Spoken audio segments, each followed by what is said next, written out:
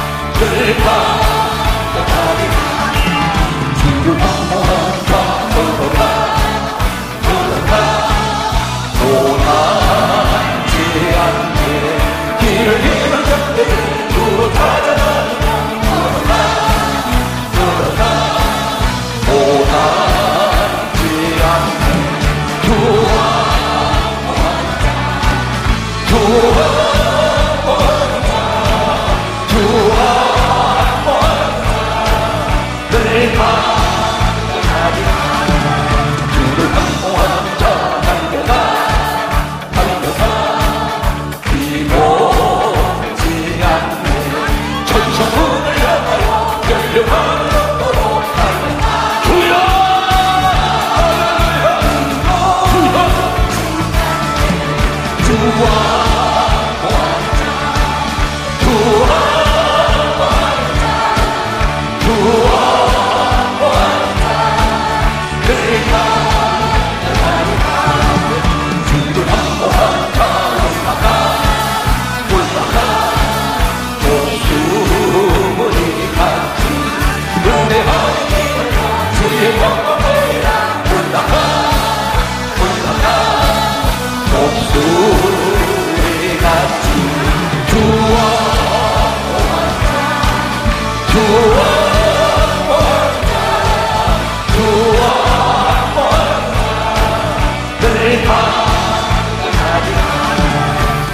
but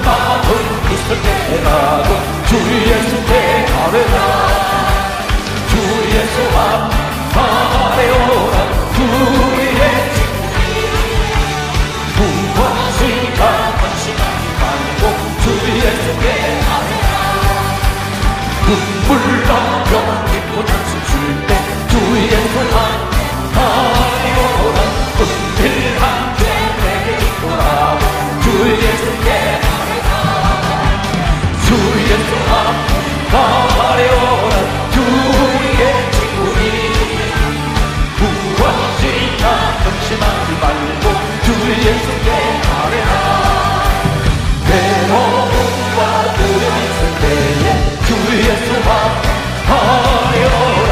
내일 일을 염려하지 말고 주 예수께 아뢰라. 주 예수 앞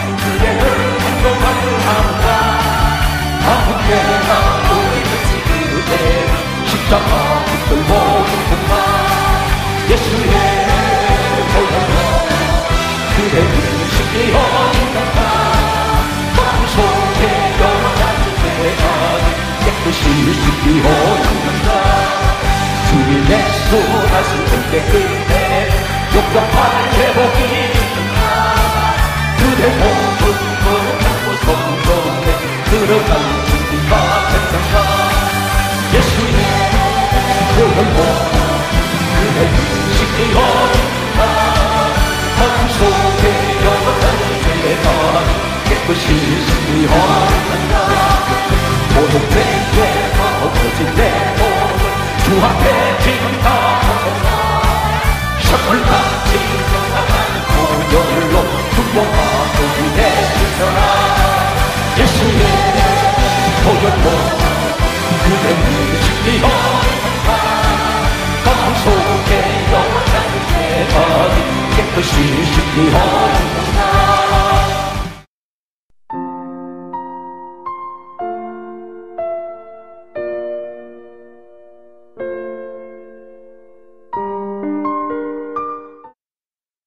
오늘 우리 주변에 보게 되면 무능하게 보이는 사람, 형편없게 보이는 사람, 어쩌면 내 가정에 내 가족일 수가 있다는 사실입니다. 내가 낳은 내 자녀를 내가 볼 때도 이 아이에 대해서 별로 기대하지 않습니다. 항상 이 아이를 보는 순간 볼 때마다 실망투성입니다. 늘 걱정거리, 근심거리가 되고 있습니다. 부모의 마음에 늘 무거운 짐이 되고 있습니다. 이 아이가 앞으로 내가 없으면 어떻게 살아갈 것인가 늘 불안하게 합니다. 항상 엎드릴 때마다 이 아이가 내 내리에서 떠나지 않는 그런 부모님이 있을 것입니다. 남편을 기대했는데 점점 시간이 흐르면서 그 남편을 바라보는 아내의 모습은 남편에 대한 실망감에 젖어 있습니다. 더 나아질 것 같지가 않습니다. 전혀 변화될 것 같지 않습니다. 그래서 어떤 때는 때론 체념하기도 합니다. 이렇게 살다가 인생을 마감하는 것 아닌가 이런 생각을 갖는 분들이 있습니다. 그러나 오늘 성경 말씀은 우리에게 무엇을 말씀합니까? 강조합니다. 예수 그리스도 안에서는 운명이란 단어가 없습니다. 팔자라는 단어가 없습니다. 중요한 것은 오늘 본문 속에 가장 형편없는 사람이 가장 위대한 사람으로 하나님이 세운 사람이 있습니다. 어쩌면 예수께서 이 땅에 오신 2000년 동안에 이러한 사람은 아직도 더 이상 태어나지 않고 있습니다. 그 사람은 바로 가장 훌륭하게 서셨던 바울이라는 사람입니다. 오늘 성경 말씀은 이렇게 정언하고 있습니다. 사도행전 22장 3절에 바울이 자신을 가리켜서 네 가지를 얘기하고 있습니다. 나는 유대인입니다. 그 말이 무슨 말이냐면 나는 전통적인 하나님을 섬기는 집안에서 태어난 사람입니다.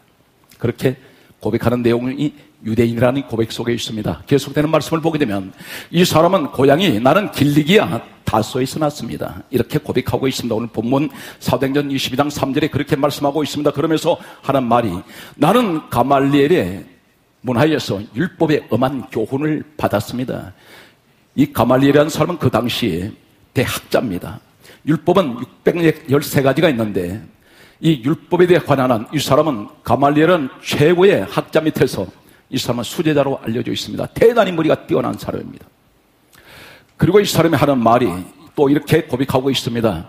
나는 하나님에 대하여 대단히 열심히 하는 사람이라고 했습니다. 첫째는 나는 전통적인 하나님을 믿는 믿음의 집안에서 태어났습니다. 나의 고향은 다소입니다. 나는 말씀에 대해서 율법은 말씀을 의미합니다. 말씀에 대해서 대단히 나는 많은 것을 알고 있습니다. 그러면서 하는 말이 나는 하나님께 대하여 대단히 열심히 하는 사람입니다. 이렇게 고백합니다.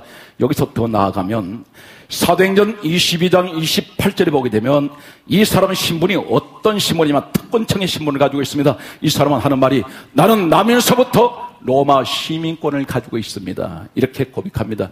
이 로마 시민권은 엄청난 그런 신분입니다. 사람은 유대인인데 혈통은 유대인이지만 이 사람은 다시 말해서 국적은 어쩌면 주권은 로마 시민의 주권을 가지고 있습니다. 그래서 전해지는 전생에 보게 되면 다른 사도들은 전부 십자가에서 순교를 했지만 이 사람은 십자가 처형을 못 시킵니다. 로마 시민권을 가진 사람은 십자가에 매달지 못합니다. 그래서 단두대에서 이 사람은 순교를 했던 것으로 전해져 있습니다. 이 사람은 고백합니다. 나는 로마 시민권을 태어나면서부터 받은 사람입니다. 했더니 바로 이 사건이 사도행전 22장 28절에 천부장이라는 사람이 이 바울을 신문을 하다가 옆에서 누가 귀띔을 합니다. 저 사람은 로마 시민권을 가지고 있습니다. 했더니 천부장이 하는 말이 나는 많은 돈을 들여서 로마 시민권을 샀노라 했더니 바울이 하는 말이 나는 태어나면서부터 노마 시민권을 가지고 있는 사람입니다. 이렇게 말을 할 때 천부장이 두려워합니다. 성경은 좀 더 내려가면 성경은 또 다음같이 말씀하는 것을 보게 됩니다. 로마서 11장 1절에 이 사람은 이렇게 말합니다. 베냐민 지파 사람입니다. 이 베냐민 지파는 엄청난 명문 집안입니다. 열두 지파 가운데 베냐민 지파란 이 지파는 어떤 지파냐면 전통적으로 이스라엘을 건국이래로 초대 왕이 사울 왕이 베냐민 집안 사람입니다. 그리고 모로덱이라는 사람이 있습니다. 모로덱이는 유대 민족을 위기에서 구출했던 사람이 바로 모로덱입니다.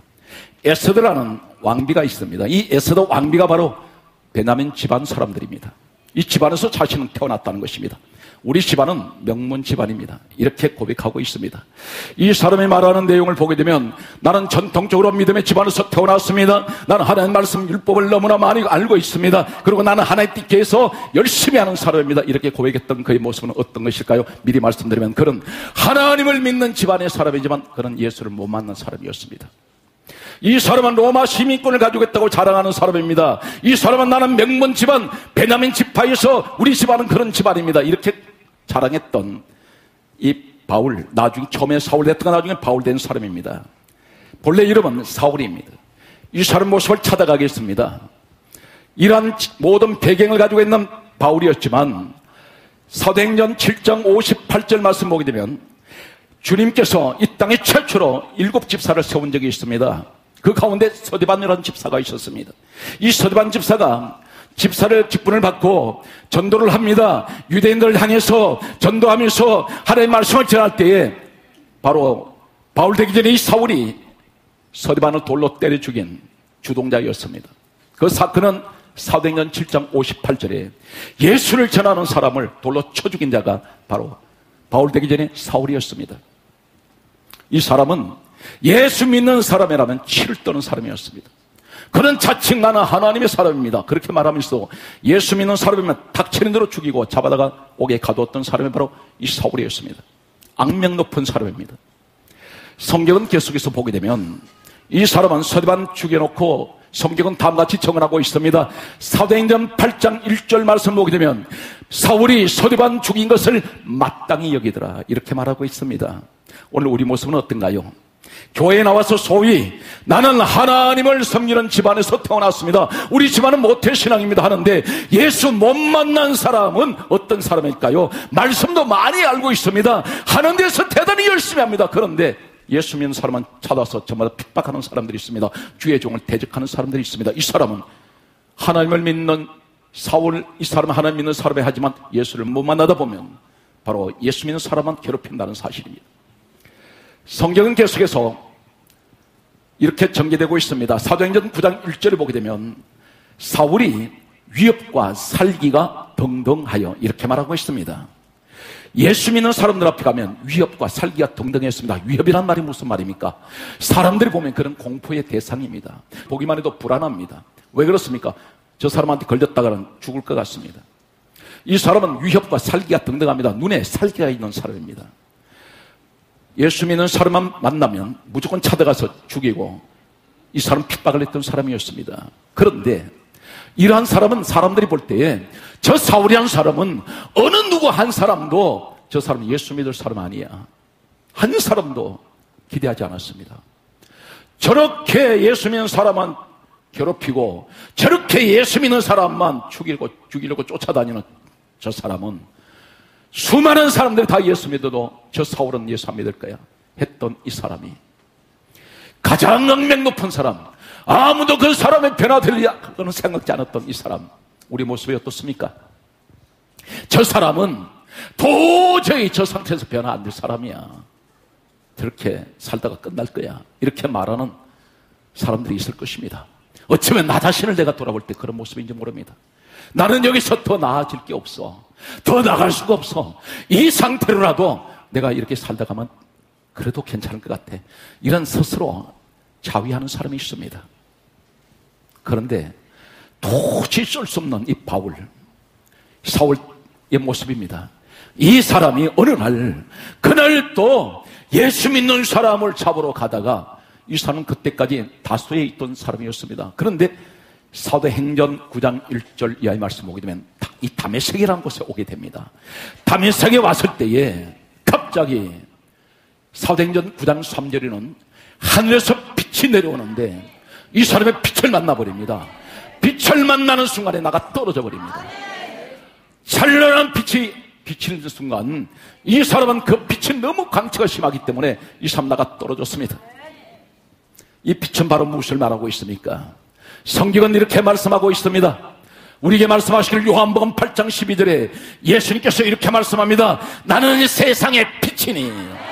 오늘 바울이 이 빛을 만난 것은 바로 누굴 만납니까? 생명의 빛이 되시는 예수를 만났다는 사실입니다. 드디어 그는 예수를 만납니다.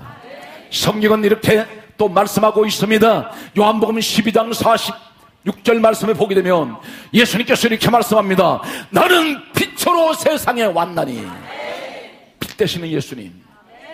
그러면서 우리 주님이 이렇게 말씀합니다. 하늘에서 음성이 들려오는데 사울아 사울아 내가 어찌하여 나를 핍박하느냐 이 말씀이 하늘에서 들려왔습니다. 악명 높은 이 사울을 예수 안에 있는 사람도 아닌데 우리 주님은 이 사울 이름을 알고 계셨어요. 하늘나라에서 알고 계십니다. 이 자리에 하나님은 누구든지 이름을 다 기억하신다는 사실입니다. 하늘에서 그 이름이 들려옵니다. 오늘 사랑하는 성도 여러분, 오늘 시간 내가 변화되지 않는다고 낙심하지 마십시오. 나는 하나님 이렇게 살다 가야 됩니까? 아닙니다. 하나님 우리를 향하신 높은 비전과 꿈이 있습니다. 바로 그것은 무엇입니까? 지금 내가 살아오는 내 모습은 너무나 형편없었습니다. 사람들의 손가락질 했던 그런 사람의 딸지라도 오늘 담에색에 서시기 바랍니다. 이 담에색에 서면 오늘 반드시 생명의 빛이 되시는 예수님을 만날 수가 있습니다. 주님을 만날 수가 있습니다. 빛을 만나야 됩니다. 성경은 이렇게 말씀하고 있습니다. 요한일서 1장 5절에서 7절 말씀에 성경은 말씀합니다. 하나님은 우리의 빛이라. 하나님은 빛이라. 그에게는 어둠이 조금도 없으시나니 하나님의 빛 가운데 계신 같이 우리도 빛 가운데 행하면 서로 사귐이 있고 사랑하는 성도 여러분 교회는 다니는데 빛을 못 맞는 사람들이 있습니다. 혹 그분이 당신이 아닌가요? 어둠과 빛이라는 것은 무엇을 의미합니까? 내가 교회를 다니면서 빛을 만났다면 우선 그 빛이 내 마음에 내 심령에 빛이 나면 어둠은 사라져야 됩니다. 어둡다는 건 뭘 말할까요? 근심은 사라집니다. 부정적인 생각 사라져버립니다. 안 된다는 생각 사라집니다. 왜 그렇습니까? 전능하신 하나님 내게 계신다면 나는 할 수 없지만 그분은 다 하실 수가 있습니다. 오늘 내 마음속에 두려움이 자리 잡고 있습니다. 염려가 있습니다. 무서움도 있습니다. 사람은 하루하루가 시시각각으로 다가오는 불안과 두려움 속에 음습할 때, 파도처럼 밀려올 때에 감당하기 어렵습니다. 그러나 우리가 이길 수 있는 것은 생명의 빛이 내 마음에 비칠 때에 성경은 말씀합니다. 하나님은 빛이시라. 그얘기는 어둠이 조금도 없으시다 했습니다. 내가 진정으로 빛 되시는 예수님 내 마음에 계신다면 내 마음에 어두움은 없어야 합니다. 걱정도 사라져야 됩니다. 그렇다면 주여 이 시간에 간절히 소망하는 것은 우리에게 생명의 빛 되시는 주여 이 시간에 우리에게 임하여 주옵소서 오늘 하나님의 축복이 함께 하시기 바랍니다. 이 민족이 여러 가지 사회가 어둡다고 말합니다. 그런 이 민족에게 생명의 빛 되시는 예수님이 임하신다면 이 민족은 어둠은 사라집니다. 오늘 이 말씀 속에서 예수님은 우리에게 말씀합니다. 성경 무엇이라고 강조합니까? 하나님은 빛이시라 그에게는 어둠이 조금도 없으십니다. 하나님의 빛 가운데 계신 같이 우리도 빛 가운데 행하면 이빛 가운데 행한다는 말이 무슨 말입니까? 비록 내게는 지금 여러 가지 어렵고 힘든 일이 눈앞에 보입니다. 그러나 빛 가운데 행한다는 것은 긍정적인 마음을 가지고 행하는 거예요. 할 수 없는 것을 할 수 있다는 생각을 가지고 가는 겁니다. 그때 서로 사귐이 있다 그랬습니다. 여러분 기도하실 때에 긍정적인 마음을 가지고 기도하셔야 됩니다. 저는 오늘 또 기도할 때에 힘들고 어려운 환경 속에서도 긍정적인 마음을 가지고 기도할 때 모든 것을 하나님께서 기적이 일어나는 것을 저는 마음으로 고백합니다. 오늘 여러분 가운데 이 고백이 있으시기를 축복합니다. 오늘 두 번째 빛을 영접한 그 순간 사도행전 9장 4절은 다음같이 말씀하고 있습니다. 빛을 영접하는 순간에 이 바울이 엎드렸다고 말씀하고 있습니다. 무엇을 말씀합니까? 생명의 빛 대신은 예수님을 내가 영접하는 순간에 나는 완전히 꼬꾸라진다는 사실입니다. 주님을 만난 사람은 절대 뻣뻣하지 않습니다. 교회 안에서 모습을 보면 당장 알 수가 있습니다. 성경은 분명히 이렇게 말씀합니다. 베드로전서 5장 5절에 말씀하시기를 교만한 자는 하나님의 대적하시되 겸손한 자에게는 은혜를 주신다 했습니다. 성경 계속해서 우리에게 무엇을 말씀합니까? 베드로전서 5장 6절에 말씀합니다. 겸손하라, 겸손하라, 겸손하라. 때가 되면 내가 너희를 높여준다 했습니다. 겸손한 사람은 높인다 했습니다. 빛을 영접하는 순간에 바울이 완전히 꼬꾸라집니다. 바울이 엎드러집니다. 엎드러졌더니 하늘 소리가 들려요. 중요한 말씀입니다. 이 소리가 무슨 소리입니까? 주님의 말씀입니다. 여러분이 엎드리지 않는 신앙 가지고는 절대 말씀이 귀에 안 들어옵니다. 교만한 마음을 가지고는 하나님 말씀을 들어도 귀에 들어오질 않아요. 교회 안에 분명히 그렇습니다. 이 바울은 빛을 영접하고 엎드렸더니 하늘 소리가 들리기 시작해요. 오늘 이 말씀 무슨 말입니까? 교회에서 겸손한 마음을 가지고 오늘 빛 대신 주님을 영접한 사람은 항상 엎드리는 신앙입니다. 기도하기 위해서 엎드립니다. 항상 겸손합니다. 낮은 자리에 서 있을 때에 성경 말씀마다 하나님 말씀이 들리기 시작해요. 강단에서 흐르는 생명의 말씀이 귀에 들어오기 시작합니다. 여러분 가운데 교만한 사람은 쓴 사람이고 겸손함은 사람은 엎드린 사람인데 교만할 때 어떤 한 가지 현상을 나타나는 것이 있을까요? 오늘 벼락이 쳤습니다. 이 벼락은 번개를 동반하는데 번개 칠 때에 절대 높은 곳에 올라가지 마십시오. 벼락 맞습니다. 낮은 곳으로 찾아가야 돼. 벼락 칠 때는 가장 낮은 곳으로 가야 됩니다. 벼락 칠 때는 엎드려야 돼요. 영적 생활에서 벼락 맞는 사람이 있습니다. 교만하면 벼락 맞습니다. 엎드려야 됩니다. 그리고 벼락 칠 때에 어떤 사람에게 벼락이 떨어지냐면 몸에 쇠붙이를 가질 때 벼락 떨어집니다. 이건 뭘 말합니까? 세부치는 과거에는 동전을 화폐로 사용한 적이 있습니다. 벼락 칠 때는 세상에서 무엇을 말인가 영적으로 돈을 너무 좋아하지 마세요. 돈을 너무 쫓아가다 보면 벼락 맞습니다. 세 번째, 벼락 칠 때 밖에 나가서 물 속에서 수영하지 마세요. 호우적거리지 마세요. 물은 전기를 전류가 흐릅니다. 이것은 뭘 말합니까? 이 시대는 벼락 치는 시대입니다. 벼락 맞는 시대가 바로 이 시대입니다. 어떤 사람이 벼락 떨어지나요? 세상 밖에 나가서 세상 물 속에서 허우적거리지 마세요. 벼락 칠 때는 집 안에 있어야 됩니다. 오늘 여러분들 가운데에서 반드시 우리는 엎드린 시장되어야 됩니다. 생명의 빛을 받은 사람은 반드시 엎드립니다. 점점 점점 그 겸손할 수밖에 없어요. 곡식은 연걸수록 수그립니다. 저는 강조했습니다. 물은 위에서부터 밑으로 흘러요. 절대 영유가 안 됩니다. 내가 물을 받으려면 낮은 곳을 찾아야 돼. 오늘 사랑 성도 여러분, 이 자리에 빛 대신 주님을 만난 사람이 여기 있습니다. 엎드린 사람이 여기 있습니다. 엎드렸더니 하나님 말씀이 들려옵니다. 네 번째는 무엇을 말씀하고 있습니까? 계속해서 성경은 이렇게 말씀합니다. 사도행전 9장 6절은 우리에게 말씀하시기를 처음에는 빛을 영접하고 엎드렸더니 하나님 말씀의 귀가 열려지더니 사도행전 9장 6절을 말씀합니다. 너는 일어나 성으로 들어가라. 누가 그러세요? 주님이 말씀합니다. 이 말씀 무엇을 말합니까? 주님이 지시하기 시작해요. 주님이 간섭해요. 내 마음대로 했는데 이제는 내가 빛 대시는 예수님을 영접하고 내가 엎드린 신앙되고 하나님 말씀을 듣는 귀가 열리니까 주님이 내 인생을 간섭하기 시작합니다.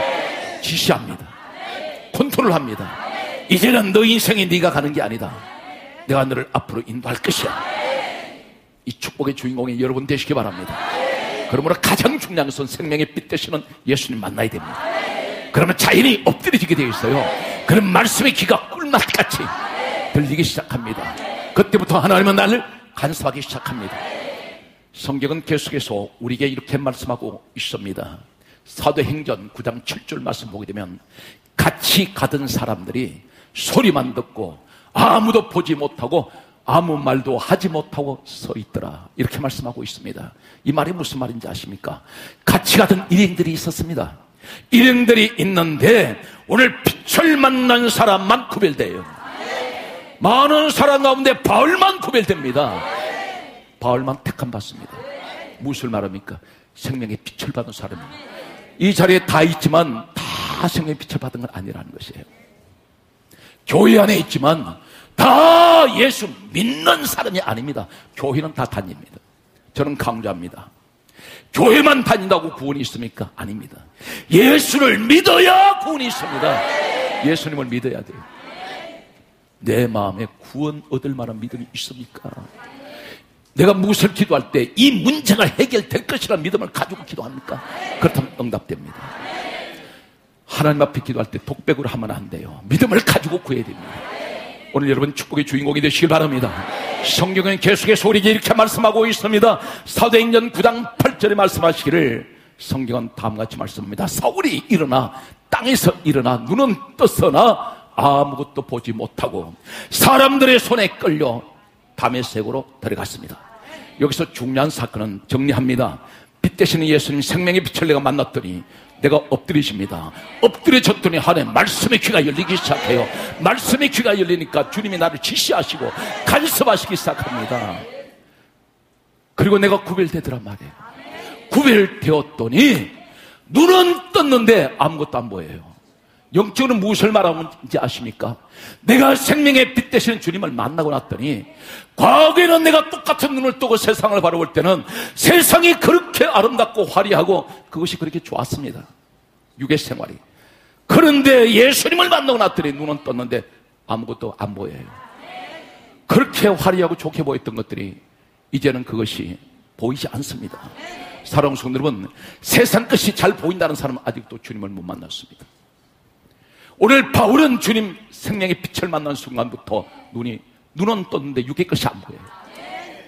오늘 이 시간 영적인 눈이 열리시기를 예수님을 축복합니다. 성경 말씀을 계속해서 여러분에게 잠깐 소개하고 있습니다. 성경은 계속해서 다음과 같이 이렇게 말씀하고 있습니다.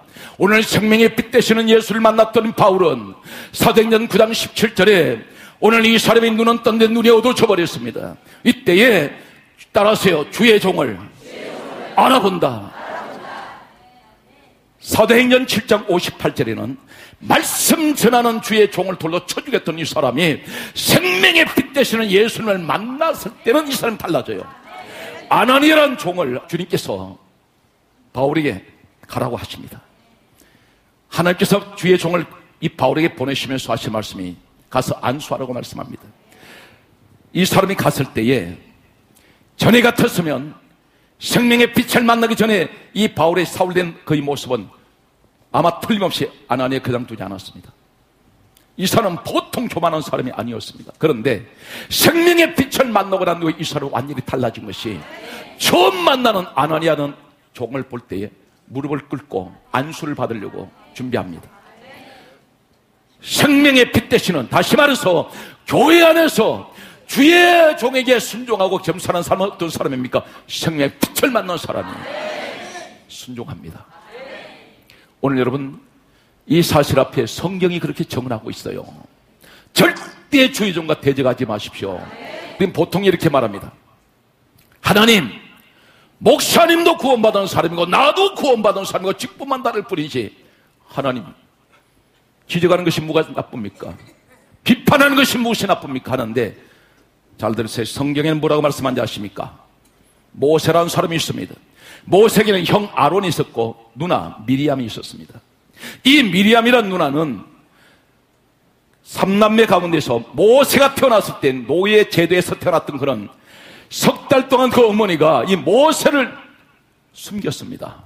그 당시에 이 애굽의 바로왕은 남자 아이가 태어나면 노예의 남자에게 태어나면 산파들에게 다 죽이라고 명령을 내렸습니다. 그런데 하나님께서 이 모세를 출산할 때 받아낸 이 산파의 마음에 은혜를 주셔서 죽이지 못하게 만듭니다. 그래서 모세 어머니가 석 달 동안 숨겼다가 도저히 안 돼서 나일강에 갈상제에 담아서 떠내려 보냅니다. 이때 그 나일강에 갈상자에 담아서 떠내려가는 이 모세 아기가 담겨 있는 그 갈상자를 따라가면서 계속 쫓아가던 한 소녀가 있었습니다. 그 소녀가 바로 미리암이었습니다. 나중에 바로 공주가 내려와서 이 날강에 떠내려가는 모세가 담긴 갈상자를 건져냈을 때에 이 아이가 히브리 사람의 아이인 줄 알았습니다. 그때에 이 바로 공주가 그 히브리 남자인 모세 아기를 양자 삼을 때에 바로 계속 따라오던 그 소녀가 유모를 속였는데 모세 친어머니를 유모로 속였던 사람입니다. 다시 말해서 모세의 누나 미리암은 모세에게는 생명의 은인 같은 사람이었습니다. 그런데 이 모세가 나이가 많아서 그가 어떤 한 여인을 안으로 맞아들였습니다. 그때에 구수라는 여자를 아내로 맞아들였는데 구수가 깜둥입니다. 이 사람이 그 여자가 타미나스가 아니라 많은 잡족들이 이스라엘 백성들과 함께 섞여서 사막으로 나왔습니다. 늘 분쟁하고 싸웁니다. 열등감을 가지고 있던 이 소수민족인 이 사람들은 늘 부딪힙니다. 모세가 저 사람들에게 열등감을 없애주고 자격지심을 없애주기 위해서는 그 사람들 동족 가운데서 한 여자를 안으로 맞이하면 저 사람들이 스스로가 열등감을 가지지 않을 것으로 생각했습니다. 그런 마음으로 구스라는 여자를 안으로 맞아들 때 바로 이것을 정면으로 비판한 사람이 누구냐면 미리암이었습니다. 미리암 생각에는 모세 동생이 다른 여자를 또 얻었다고 생각했는지 모릅니다. 그런데 미리암이 정면을 비판하고 났을 때에 아론이 합세해 버렸습니다. 형과 누나가 모세를 건드렸습니다. 사도행전 7장 38절은 이때 모세가 광야 40년 생활을 가리켜서 여기를 가리켜 교회라고 말씀하고 있습니다. 영적 교회. 말하면 영적인 교회, 광야 교회라고 말씀합니다. 이때 하나님께서 그 세 사람을 갑자기 불러냅니다. 너희들 내 앞으로 나오라 말합니다. 모세는 이 광야교회 담임 목사였습니다. 불러내시더니 하시는 말씀이 너희가 누구간데 내 종 모세를 비방하기를 두려워 아니하느냐 하면서 책임을 어디다 물어버렸냐면 미리암한테 책임으로서 미리암이 한센병이 걸려버립니다. 잘못은 분명히 얘기한다면 모세가 잘못했습니다. 그런데 책임은 비방했던 미리암에게 물었습니다. 이 사건에서 무엇을 말하나요? 네가 아무리 친한 한 형제요, 친척이요, 누나와 동생 사이랄지라도 모세는 내가 세운 종인데 내가 알아서 할 텐데 네가 비방하느냐? 절대 교회 생활에서 주의 종과 부딪히지 마세요. 부딪히면 반드시 돌아오는 것이 화가 돼서 돌아올 수가 있습니다. 우리는 이 사실을 모르고 있습니다. 이것은 영적인 일이기 때문에. 그러나 반드시 바울처럼 생명의 빛 되시는 예수님을 만난 사람은 반드시 처음 만나는 주의 종에게 그런 순종합니다. 여기서 주의 종을 알아보고 따라 하겠습니다. 하나님이 돕는 자를 보내주십니다. 이 사람이 눈을 뜨지 못할 때에 이 아나니아가 그에게 안수를 할 때 눈이 떠져 버립니다. 오늘 사랑 성도는 생명의 빛 되시는 주님을 만나면 반드시 내가 어려움 당할 때에 돕는 자를 보내준다는 사실입니다. 성경은 계속해서 이렇게 말씀하고 있습니다. 사도행전 9장 17절에 이렇게 말씀합니다. 주의 종이 안수할 때 따라서의 성령 충만 받았습니다. 오늘 이 밤에도 안수할 때 성령이 임하실 줄 믿습니다. 오늘 가장 중요한 한 가지 핵심이 있습니다. 생명의 빛을 만나야 됩니다. 주님만 만나면 나머지는 자동적으로 풀어진다는 사실입니다. 내가 달라집니다. 무엇이 달라지지 않는다고 낙심하지 마십시오. 환경이 달라지지 않고 있습니까? 내 성격이 변화되지 않습니까? 중요한 것은 내가 반드시 빛 되시는 주님만 만나버리면 내가 가장 부족한 내가, 보잘 것 없던 내가, 주님과의 원수 자리에 섰던 내가, 주님이 가장 크게 서시는 사람으로 바꿔질 수 있다는 것입니다. 그러므로 예수 안에서는 낙심할 이유가 없습니다. 절망할 이유도 없습니다. 중요한 것은 교회 나와서 생명이 빛 되시는 주님을 만나야 합니다. 성경 말씀은 계속해서 이렇게 말씀하고 있습니다. 성경 말씀을 계속해서 소개합니다. 이 사람이 성령 충만 받고 났을 때 가장 먼저 나타난 것은 사도행전 9장 20절에 즉시 각 회당에서 예수는 하나님의 아들이라 증거했습니다. 잠시 전까지 담에색에 오기까지 이 사람은 전부 예수 믿는 사람만 잡아 죽인 이 사람이 성령을 받고 난 후에는 생명의 빛 되시는 주님을 만나고 성령 받고 난 그는 즉시 지체하지 않습니다. 즉시 이 사람의 다니면서 예수는 하나님의 아들이라고 전도하기 시작합니다. 오늘 우리 모습이 이 모습이 되시길 바랍니다. 성경 말씀은 이렇게 말씀하고 있습니다. 그러므로 이 사람이 어떻게 변화되었을까요? 사도행전 16장 9절 말씀을 보게 되면 이 사람은 최초로 저 유럽의 마게도니아에 예수 그리스도를 전개했던 선교했던 산 정인입니다. 마게도니아는 지금 터키를 말합니다. 그 터키를 시작해서 유럽 전 지역이 보호마되기 시작합니다. 성경 말씀을 계속해서 보게 되면 성경은 다음과 같이 말씀하고 있습니다. 사도행전 19장 성경 말씀은 12절에 이렇게 말씀합니다. 이 사람을 가리켜서 그 삶에 어느 정도 하나님 능력 주셨느냐면 많은 사역을 감당할 때 수많은 사람들이 구름대처럼 몰려들었습니다. 이 사람이 감당할 수가 없습니다. 사람들이 병자들이 모여들고 귀신 들린 사람이 사방에 모여들더니 이 바울이 미쳐 손을 설 수가 없을 때에 사람들이 와서 이 바울이 가지고 있는 손수건이나 천조각을 갖다가 갖다 얹으니까 병이 치료돼요. 귀신이 떠나갑니다. 이 사람이 더 놀라운 사실은 고린도 후서 12장 2절 말씀 보게 되면 이 사람이 모든 사도들이 하지 못했던 한 가지 성경을 기록하고 있습니다. 셋째 하늘까지 올라갔다 내려온 사람입니다. 놀라운 일입니다. 셋째 하늘은 하나님 보호자가 있는 곳입니다. 이 사람이 더 놀라운 사실은 신약 성경 27권 가운데 13권에서 14권을 기록한 사람입니다. 신약 성경 우리가 가지고 있는 신약 성경 27권 가운데 절반을 기록한 사람이 바울입니다. 성경 말씀을 보게 되면 이 사람은 전도하다가 사람을 돌로 쳐서 이 사람이 기절해 버렸습니다. 사람들은 그가 죽은 줄 알았습니다. 숨을 쉬지 않습니다. 성 밖에 갔다가 집어 던졌는데 이 사람이 나중에 온몸 피토성에 된 채로 다시 일어나서 또 전도하기 시작합니다. 한마디로 말해서 전도에 미쳐서 예수만을 위해서 이 땅에 살다 간 사람이 바로 바울입니다. 마지막 성경이 이렇게 강조합니다. 갈라디아 6장 14절에 이 사람이 순교 직전에 이렇게 말하고 있습니다. 내게는 오직 주 예수 그리스도 십자가 외에는 결코 자랑할 것이 없나니 할렐루야 사랑하는 성도 여러분 이 땅에서 무엇을 남기고 가겠습니까? 돈을 남기시겠습니까? 이름을 남기시겠습니까? 명예를 남기시겠습니까? 무엇을 남기시려고 합니까? 여러분이 이 땅에 무엇을 남긴다 할지라도 시간이 가면 다 잊혀집니다. 가장 중요한 것을 남기십시오. 무엇을 자랑해야 됩니까? 예수 그리스도를 자랑하세요.